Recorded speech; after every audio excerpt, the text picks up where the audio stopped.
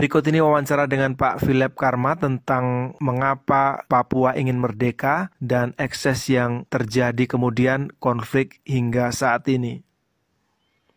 Halo. Selamat siang Mas Nur Hadi. Selamat siang Pak Philip, terima kasih waktunya. Pak, ya. bagaimana kita memandang eh, konflik ini, kekerasan bersenjata ini eh, dalam kerangka meraih cita-cita untuk merdeka? Apakah memang harus ada konflik di situ? Saya pikir di era sekarang ini ya, jangan Indonesia, pemerintah Indonesia menerapkan pola-pola zaman Hindia Belanda abad 19 ya. Zaman waktu Daimler, ya Daimler mungkin terlalu awal, tapi gubernur-gubernur akhir. Jadi seperti waktu politik etis dipraktekkan di Pulau Jawa ya. Nah, Otsus ini kami melihat sebagai politik etis, tapi tidak tidak sepenuhnya benar karena perlakuan rasis dan diskriminatif masih terasa dalam setiap tindakan ataupun kebijakan yang diberikan kepada kami. Contoh seperti Otsus 2 ini malah lebih dikebiri lagi dibanding Otsus 1. Jadi banyak kewenangan ditarik ke pemerintah pusat. Dan itu terlihat semakin lebih rasis lagi dalam merumuskan dan melahirkan undang-undang Otsus kedua ini. Kalau yang pertama itu istilahnya mungkin rasisnya 50 persen, yang sekarang ini rasisnya 80 persen atau mungkin 90 persen, hanya 10 persen aja hasil pemikiran orang Papua. Tapi 90 persennya kepentingan pusat yang dipraktikkan dalam otsus yang sekarang ini. Oke. Okay. Jadi apa yang kami harapkan dengan undang-undang yang demikian, dengan sikap atau perilaku yang demikian terhadap kami, tidak ada. Hmm. Dan kepercayaan rakyat Papua untuk Jakarta sudah bukan nol tapi minus di bawah garis nol. Lalu terkait konflik tadi, apakah harus memang harus ada Pak atau sebenarnya diplomasi damai bisa dilakukan dengan Jakarta? Nah, saya, ya, saya berpikir bahwa Indonesia untuk memaksakan kami bersama Indonesia sudah tidak bisa. Apa pun tawaran yang diberikan, tetap akan ada pergolakan terus untuk merdeka. Jadi kalau memang sudah tidak bisa ya ini tawaran yang saya berpikir untuk win-win solution. Indonesia mempersiapkan Papua merdeka sebagaimana Jepang mempersiapkan Indonesia merdeka. Sehingga ya kalau sampai kami dipersiapkan merdeka, mungkin tidak perlu terjadi pertentangan, permusuhan. Karena yang mati itu kan rakyat kecil. Yang kemarin yang memutuskan bahwa orang Papua atau pergerakan di Papua itu teroris kan Mahfud MD. Adakah anak atau istri atau keluarga Mahfud MD yang jadi korban dari teman-teman saya para apa pejuang kemerdekaan atau freedom fighter orang Papua yang disebut TPNOP.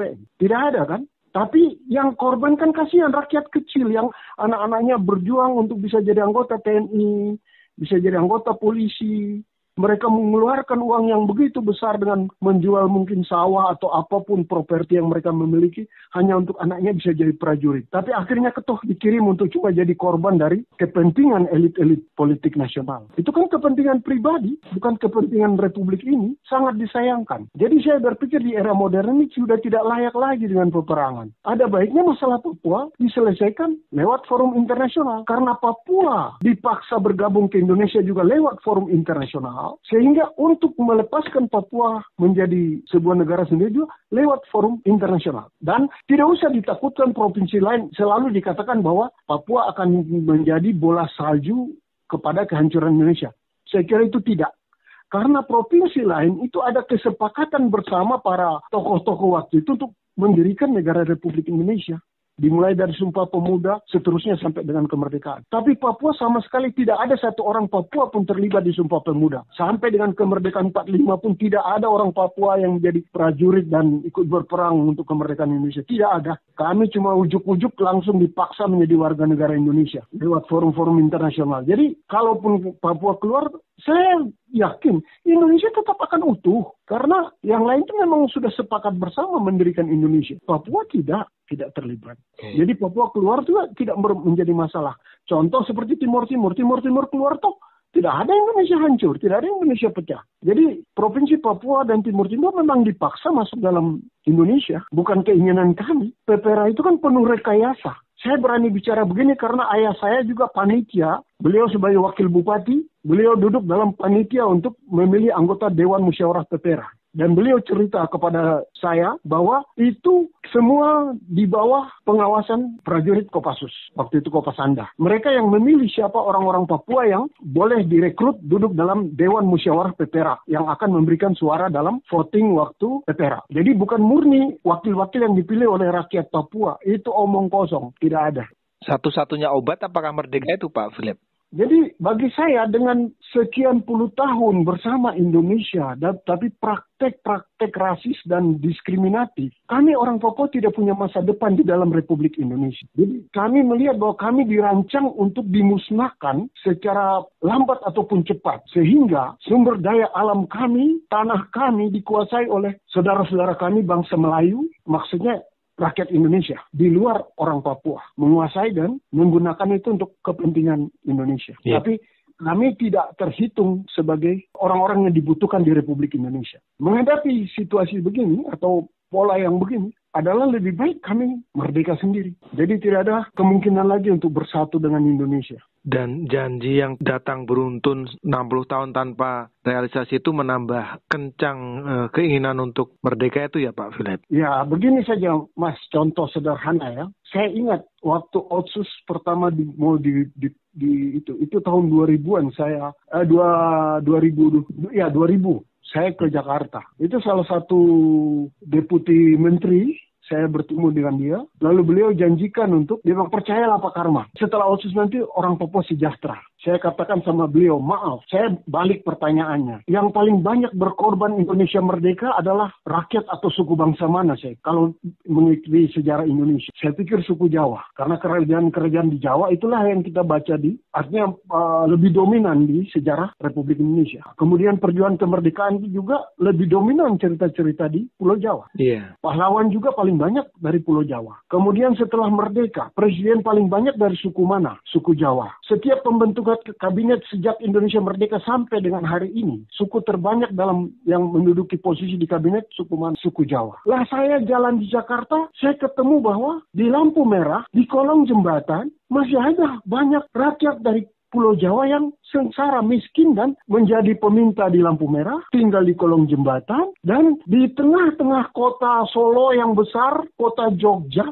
ada orang masih berbahasa Jawa tidak tahu bahasa Indonesia. Wow, saya kaget. Saya yang dari Papua, yang dianggap bodoh, belum tahu apa-apa, kok bisa ketemu ada orang orang Jawa sendiri yang tidak tahu bahasa Indonesia di tengah kota besar sebesar Solo atau Jogja. Jadi saya berpikir kalau rakyatnya sendiri di Indonesia, khususnya di Pulau Jawa, itu saja tidak mampu disejahterakan, sedangkan presiden paling banyak suku Jawa, kabinet kedudukan di kabinet paling banyak menterinya orang Jawa. Orang Jawanya sendiri masih melarat, terus menjanjikan kesejahteraan untuk orang Papua yang dianggap monyet, itu sebuah fata morgana, nonsense. Hmm, begitu ya, Pak? Ya, tapi kalau kami sendiri, saya yakin cuma dengan Freeport saja, setiap orang Papua akan sejahtera. Punya rumah dan punya mobil. Itu baru Freeport. Belum yang lain. Karena Freeport ini selama ini kita dibohongi. Yang ditekankan cuma tembaga. Padahal dalam Freeport, hasil Freeport itu ada tembaga, emas, uranium, perak, dan yang lain-lain. Nah, ini kan permainan para elit saja. Rakyat dibohongi dengan tembaga. Akhir-akhir ini baru mulai terbuka tentang emas. Tapi yang zat-zat lain atau material apa logam yang lain belum di, di, di, disebutkan. Hmm. Otomatis kalau kami sebagai orang Papua kalau sudah merdeka sendiri, ya kami akan membuat suatu perjanjian baru lagi dengan siapa pun yang mengelola tambang itu, entah Amerika, entah Cina, entah Rusia atau siapa pun otomatis kami akan lebih teliti masalah itu. Hmm. Dan kami bangsa Papua dari dulu selalu lebih menekankan sosialisme. Karena seperti kepemilikan hutan adat, tanah ulayat, itu bukan milik pribadi seseorang, itu milik bersama, kebersamaan. Jadi dalam kehidupan suku-suku mayoritas di Papua adalah kebersamaan. Sehingga hasil tambang mungkin kami akan menerapkan seperti apa yang dikatakan yang berbunyi dalam termaktub dalam Undang-Undang Dasar 45. Kekayaan apa bumi alam dan ini digunakan sebesar-besarnya untuk kesejahteraan rakyat. Pendengar Pak Philip Karma, seorang tokoh Papua Merdeka, baru saja memaparkan tentang bagaimana cita-cita gerakan Papua Merdeka itu, dampaknya, dan apa yang akan mereka lakukan seandainya cita-cita itu tercapai. Tentu kita tidak menginginkan bahwa cita-cita itu dibarengi dengan konflik bersenjata yang terus-menerus terjadi dan menjadikan banyak korban jatuh sepanjang bertahun-tahun konflik itu terjadi di sana. Terima kasih dan sampai jumpa kembali.